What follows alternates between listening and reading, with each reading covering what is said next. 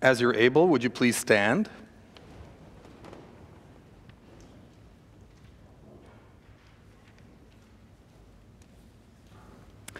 I am resurrection and I am life, says the Lord.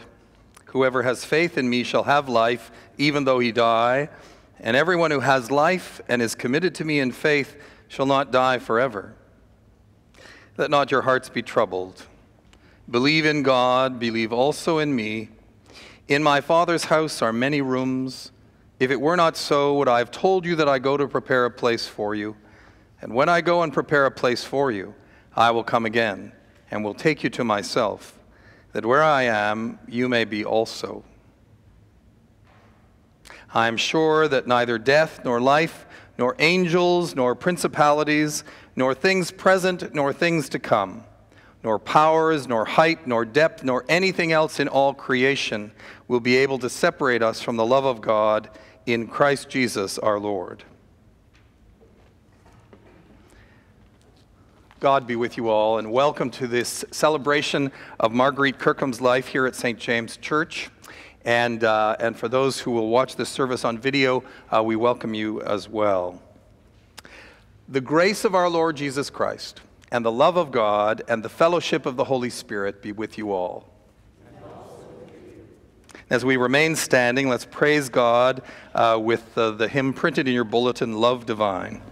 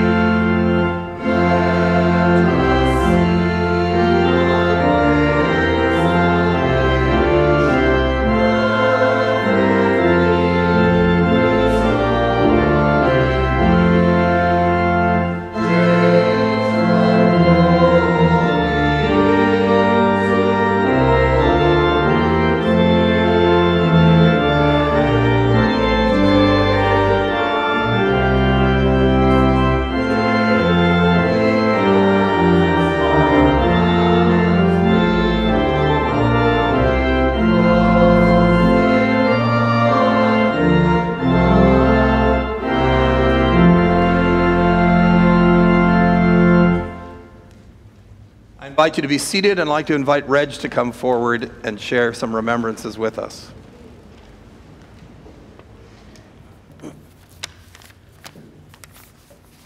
Thank you, Reverend Davis.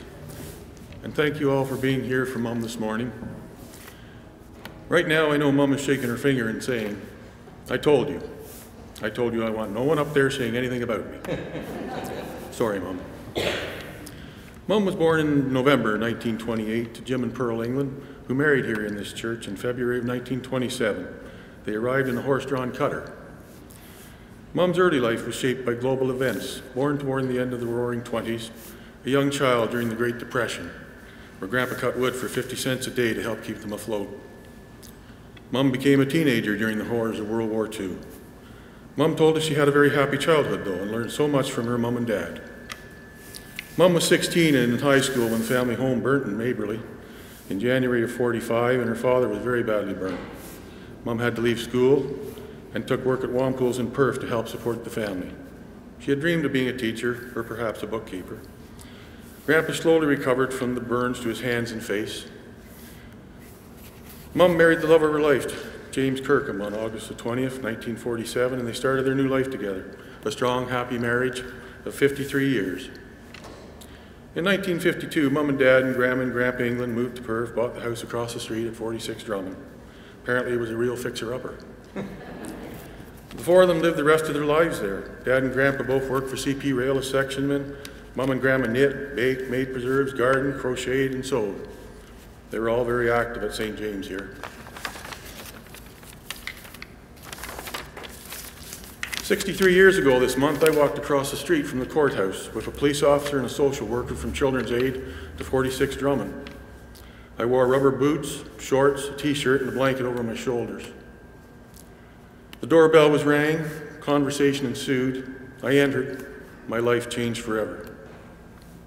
I was blessed with a wonderful family. I was a kid who got to live with his parents and grandparents. Imagine that. After that doorbell rang for me on that dark January eve, Mom and Dad and my grandparents saw need. After me, they fostered well over 100 children and later adopted Josh and Sarah's mom, my sister Darlene. Later, they babysat many more children for young families in the community. Mom's faith and strength were amazing. You all know her contributions to St. James over the decades. Her faith sustained her and us through the loss of her parents, Dad, my sister Darlene, and my son James. She was a rock and a shelter for all of us. She was thrilled with new additions to the family Alicia, Isabel, Frederick, and she was so happy with a surprise visit from Brittany in December for her 95th and to share the news that a new great grandson is expected in June. Over the past few years, I would take Mum to many appointments, and as she aged, walking became more difficult for her. She would walk down the front step and gently take my arm. I would walk her to the car and she would gently let go of my arm. Her touch was soft as a whisper, and I would always feel a quick sense of loss. You have gently let go of me for the last time, Mum, and I have now ta- you have now taken Dad's hand in yours and are giving Darlene and Jimmy hugs. I love you, and I miss you so much, Mum.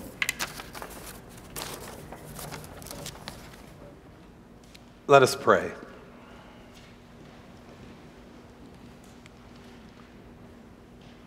O God, the maker and redeemer of all, grant us with your servant Marguerite and all the faithful departed the sure benefits of your Son's saving passion and glorious resurrection. That in the last day, when you gather up all things in Christ, we may with them enjoy the fullness of your promises through Jesus Christ our Lord, who lives and reigns with you in the unity of the Holy Spirit, God, forever and ever. Amen. Now, I invite you to remain seated and have uh, Josh to come forward and share our first reading with us. A reading from the book of the prophet Isaiah. On this mountain, the Lord of hosts will make for all peoples a feast of rich food, a feast of well matured wines, of rich food filled with marrow, of well matured wine strained clear. And he will destroy on this mountain the shroud that cast over all peoples, the sheet that is spread over all nations. He will swallow up death forever. Then the Lord will wipe away the tears from all faces, and the grace and the grace of this people he will take away from all of the earth. For the Lord has spoken, it will be said on this day. Lo, this is our God. We have waited for him so that he might save us. This is the Lord for whom we have waited. Let us be glad and rejoice in his salvation. The word of the Lord. Thanks be to God. Good job.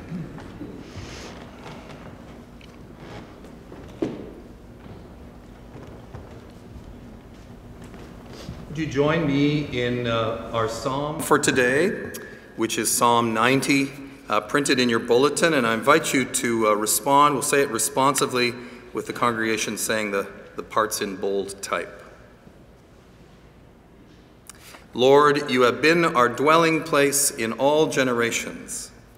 Before the mountains were brought forth,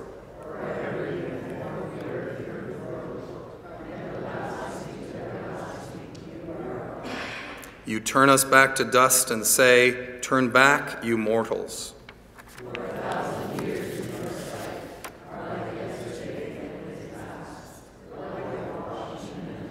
You sweep them away, they are like a dream, like grass that is renewed in the morning.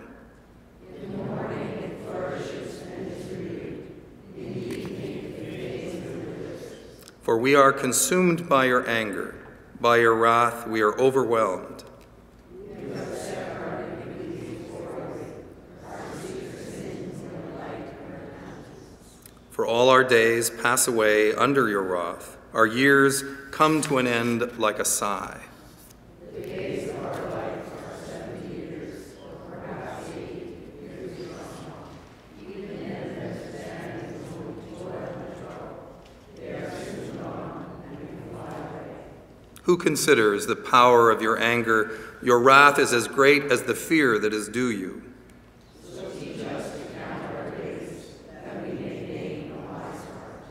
Turn, O Lord, how long? Have compassion on your servants.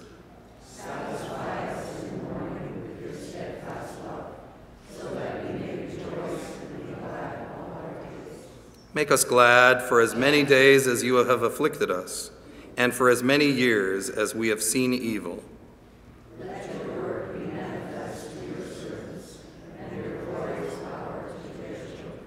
Let the favor of the Lord our God be upon us. Prosper us for the work of our hands.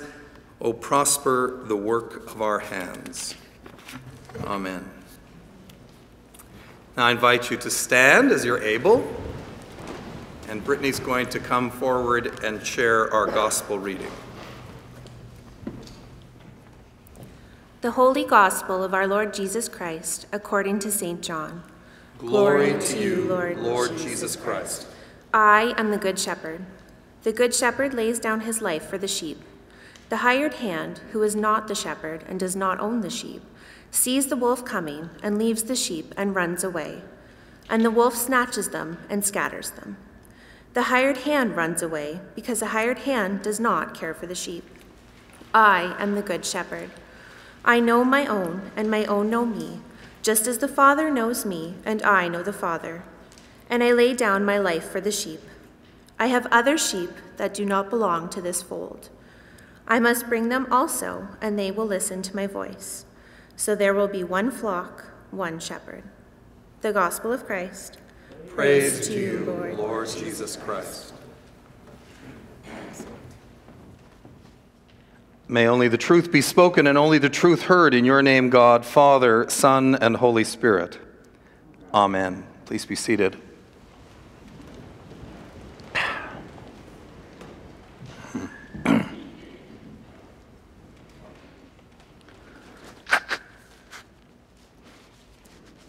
This morning in our daily prayers, we read Psalm 40 Great things are they that you have done, O Lord my God, how great your wonders and your plans for us. In the roll of the book, it is written concerning me I love to do your will, O my God. Your law is deep in my heart. And I could imagine Marguerite saying those words. And from our psalm today, let the favor of the Lord our God be upon her and prosper us for the work of her hands, prosper her handiwork. Today, as we gather to celebrate and give thanks to God for Marguerite, we might be tempted just to console ourselves because a faithful servant of Christ lived a long and impactful life. That's pretty good all by itself. We have an old tradition in our church which we has kind of fallen out of use, but it used to be that um, in our old prayer book uh, we would use the psalm we said together today. A bit odd at the beginning, I know, but um, uh, Psalm 90. Uh, it was always traditionally used when we would commend to God those who lived well beyond the 80 years that the psalm speaks of. So when someone accomplishes all she did, and reaches the great age of 95, we can say with some confidence that God prospered the work of her hands. And we would be lucky to be able to say the same one day ourselves. But there is so much more in our dear sister's life that we can celebrate over and above her years. And, um, and some of those years, of course, Reg just helped us to remember. And if Marguerite was, uh, you know, criticizing you, uh, Reg, I would say it was brief and fine, um, but excellent.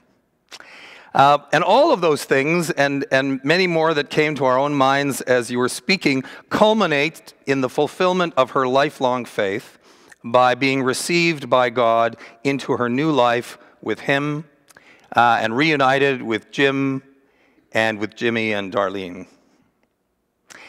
At the end of this day, that is our greatest consolation. When we are so very conscious of missing a devoted mother and grandmother and great grandmother, a foster mother, a co worker, a friend, and a 72 mem- year member of this parish family. I might have mentioned this to someone last night because it was already on my mind, but I'm sure that, like me, most of us will long be moved to turn our heads down Drummond and look not on this side of the street to this beautiful building, but toward that tidy porch with the uh, green all weather carpets. Uh, I think a porch that, uh, that Sonny built. Um, remembering the one who sat there ready to catch our eye as we came along. Maybe we will always do that from now on. But today, in this holy place, which Marguerite loved, and in which she so faithfully exercised her commitment to Jesus, there are many who know uh, all kinds of things we have received from her. And then beyond these walls, there are so many more. Reg spoke of the something like 146 children that Marguerite and Jim fostered. Let that sink in uh, and all the kids that she babysat, and the two children that became her own, and now they're extended families. I wonder if you have been hearing, as I have, uh, in fact, rather movingly, all last week while she was in hospital, about the desperate need for more people like Marguerite and Jim that are needed in this moment to foster the huge number of children in crisis in Ontario. Have you heard that news story lately? um, it, it struck me on my way to the hospital one day. A few weeks ago on Epiphany, we were reminded that God promised us the antidote to the failure of leaders and public servants in the past and sadly still in the present. Through the prophets, we were reminded that God promised us that He would raise up true shepherds that is, people who will take up the call to nurture and lead and protect others. Uh, Marguerite, I know, believed what we heard in the gospel that Brittany read so, so well for us. The greatest leader, the greatest caregiver, the greatest protector, and indeed the savior of us all came to us in the person, person of Jesus. And she believed that. And he said to us, as we heard in the gospel, I am the good shepherd. I lay down my life for the sheep. And we know that Christ came and lived and died and rose again for Marguerite and for the rest of us. But in breaking into our world on that first Christmas, and then having given us life by offering us his own, our Lord showed us also what we need from each other. Over the years, people like Marguerite offered themselves to be shepherds like Jesus. Including uh, judges and policemen and social workers showing up at the door on Drummond Street with a child in need.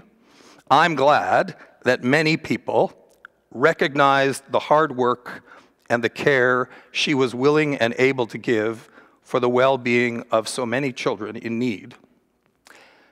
That's what a follower of the Good Shepherd does.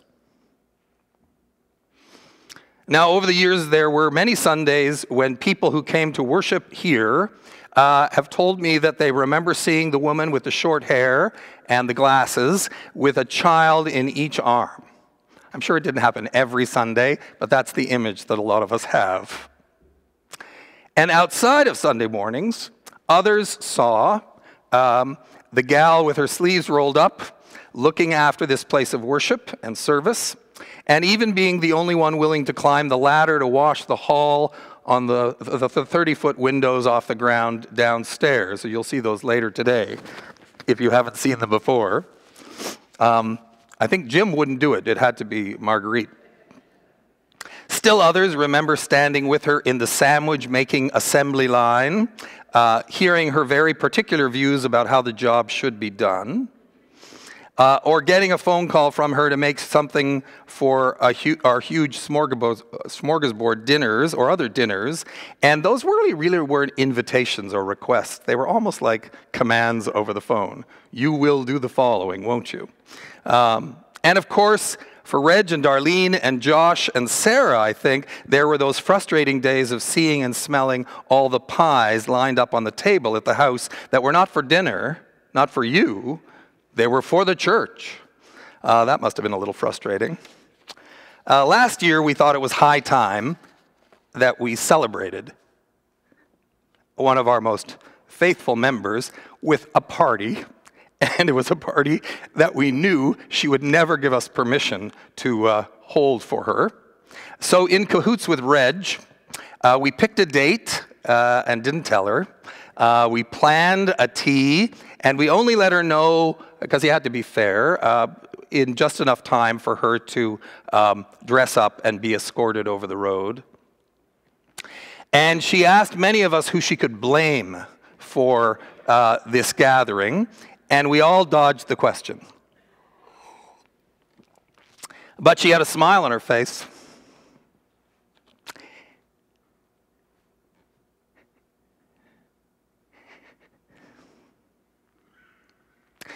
And we, when we put her photo uh, up on that old servery wall, uh, which you might see again uh, after the service today, she graciously received our attempts to honor her and to show her how much she meant to us.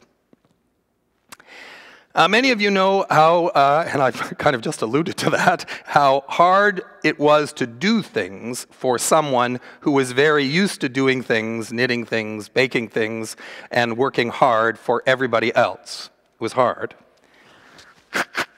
But somehow, people like Bob and Shirley, and uh, Joyce and Helen and uh, others here uh, were able to find uh, clever ways to get through her defenses. And she had her softest spot, of course, reserved for her children and their families. She was always so pleased, often at the back of the church, uh, to tell us uh, if she was going to be away, if she was going to see one of you. Uh, and especially to say that she was going to church with you uh, when she was away from St. James. She was keen on telling me that. I was delighted to sit at the kitchen table on Saturday and see that beautiful book that Brittany made just uh, last year with great memories uh, that her grandmother shared with her and some wonderful old photos. I was struck by the fact that none of the photos were labeled. And I wondered, you know, who these people were and what the date was. But the photos were for her, and she knew who, were, uh, who the people were and the dates, so she didn't need any dates uh, put on those photos. What a marvelous and apt gift that was. Uh, it was just one example of the ways you returned the love she had for you. And uh, this, as I said last Sunday, is the way families and churches should work. It starts with the love and the dedication of our elders acting out their faith and the love of God, and then uh, it gets echoed out and back for generations. And as we think about just some of these things, uh, these will just be a small part of what we give thanks for today as we entrust one of God's dear daughters into his loving arms, knowing, as she taught us, that there is room for us all there too. In the name of the Father, and of the Son, and of the Holy Spirit. Amen.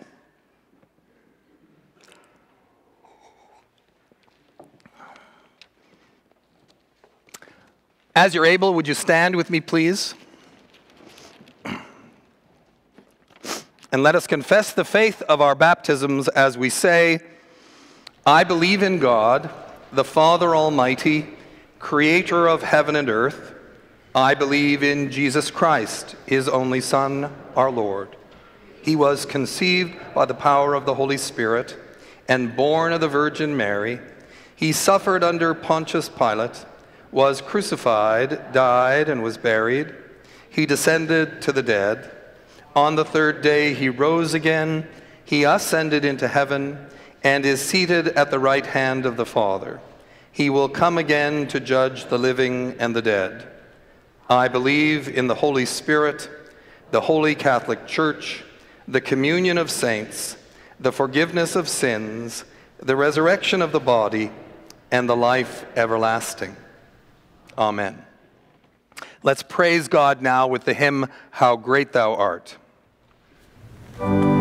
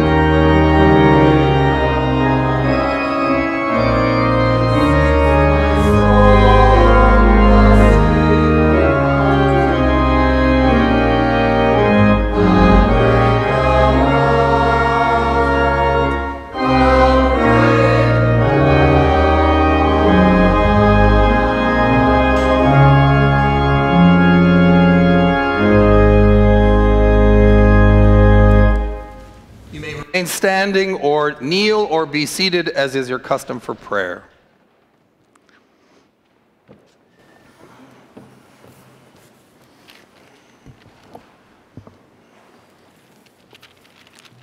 Let us pray, saying, Hear us, Lord. Almighty God, you have knit your chosen people together in one communion in the mystical body of your Son, Jesus Christ our Lord. Give to your whole church in heaven and on earth your light and your peace.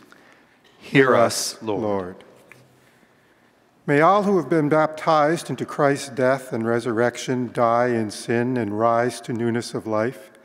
And may we with him pass through the grave and the gate of death to our joyful resurrection. Hear us, Lord.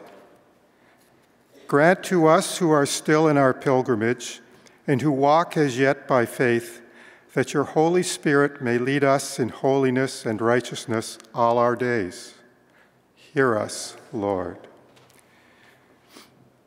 Grant to your faithful people pardon and peace that we may be cleansed from all our sins and serve you with a quiet mind. Hear us, Lord. Grant to all who mourn a sure confidence in your loving care, that casting all their sorrow on you, they may know the consolation of your love. Hear us, Lord. Give us courage and faith to those who are bereaved that they may have strength to meet the days ahead in comfort of a holy and certain hope, and in the joyful expectation of eternal life with those they love. Hear us, Lord. Grant us grace to entrust Marguerite to your never failing love which sustained her in this life. Reserve, receive her into the arms of your mercy and remember her according to the favor you bear for your people. Hear us, Lord. I invite you to stand, please, as you're able. the peace of the Lord be always with you. We're going to praise God with uh, the hymn, Let Saints on Earth in Concert Sing.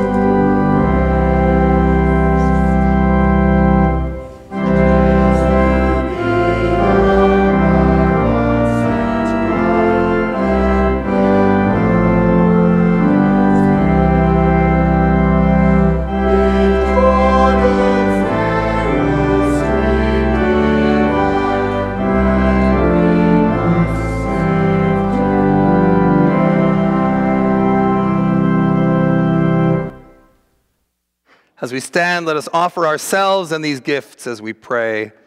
God of mercy, accept the worship we offer you this day Increase, we pray, our faith, deepen our hope, and confirm us in your eternal love. We ask this in the name of Jesus Christ the Lord. Amen. The Lord be with you. Lift up your hearts. Let us give thanks to the Lord our God. Blessed are you, gracious God, creator of heaven and earth. We give you thanks and praise through, your, through Jesus Christ our Lord, whose victorious rising from the dead has given to us the hope of resurrection and the promise of eternal life.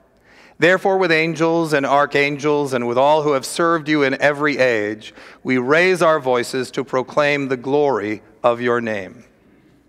Holy, holy, holy Lord God of power and might. Heaven and earth are full of your glory. Hosanna in the highest. Blessed is he who comes in the name of the Lord. Hosanna in the highest. We give thanks to you, Lord our God, for the goodness and love you have made known to us in creation, in calling Israel to be your people, in your words spoken through the prophets, and above all, in the word made flesh, Jesus, your Son. For in these last days you sent him to be incarnate from the Virgin Mary, to be the Savior and Redeemer of the world. In him you have delivered us from evil and made us worthy to stand before you. In him you have brought us out of error into truth, out of sin into righteousness, out of death into life. On the night he was handed over to suffering and death, a death he freely accepted, our Lord Jesus Christ took bread and when he had given thanks to you, he broke it and gave it to his disciples and said, Take, eat. This is my body, which is given for you. Do this for the remembrance of me. After supper, he took the cup of wine, and when he had given thanks, he gave it to them and said, Drink this, all of you. This is my blood of the new covenant, which is shed for you and for many for the forgiveness of sins. Whenever you drink it, do this for the remembrance of me.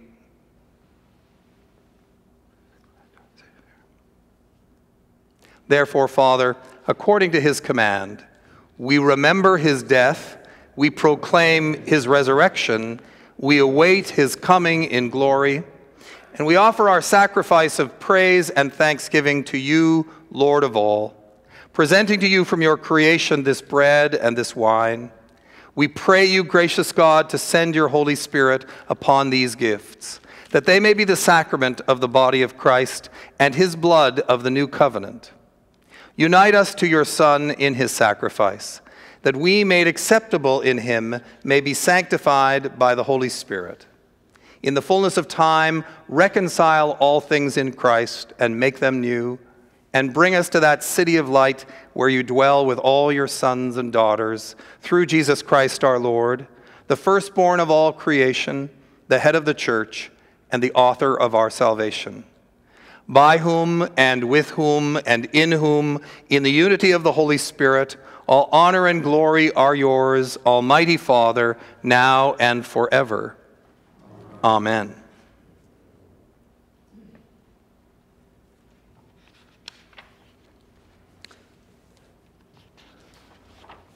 And now, as our Savior Christ has taught us, we are bold to say, Our Father, who art in heaven, hallowed be your name. Thy kingdom come, thy will be done on earth as it is in heaven. Give us this day our daily bread, and forgive us our trespasses, as we forgive those who trespass against us. And lead us not into temptation, but deliver us from evil. For thine is the kingdom, the power, and the glory forever and ever. Amen. This is the bread which has come down from heaven. Those who eat this bread will live forever. The gifts of God for the people of God. Thanks be to God.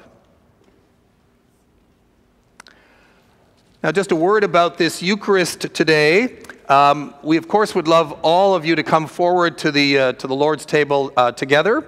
Uh, and um, we welcome to the Lord's table to receive the sacrament all baptized Christians, regardless of denomination. And um, if you'd like to come forward but would not be receiving the sacrament, please do come forward and just make a, a cross with your hands or bow your head, and that would indicate to me that you would like to have a blessing today. Uh, and as it says in the bulletin, if you need to have a gluten free communion wafer, you just let me know when you come to the altar, and uh, I'll have those for you also. Let us pray. God of love, you have fed us at the table of your kingdom. Teach us to trust without fear in your eternal goodness and mercy. We ask this in the name of Jesus Christ the Lord. Amen.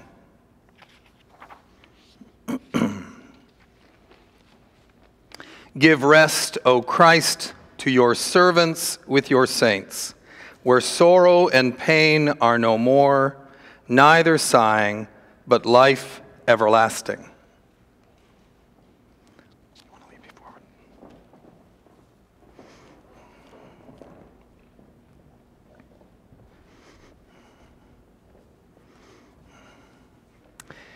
Now into your hands, O merciful Savior, we commend your servant, Marguerite Sophia Maud.